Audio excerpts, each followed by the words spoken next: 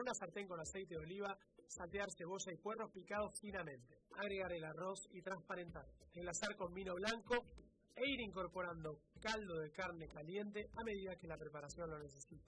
Devolver constantemente. Cortar cubos chicos con la carne del cordero y en una sartén con aceite de oliva saltearlos por unos minutos. Salpimentar e incorporar arroz. Agregar aceitunas negras fileteadas, los tomates secos, hidratados y fileteados. Salpimentar y agregar manteca y queso parmesano por último. Servir bien caliente.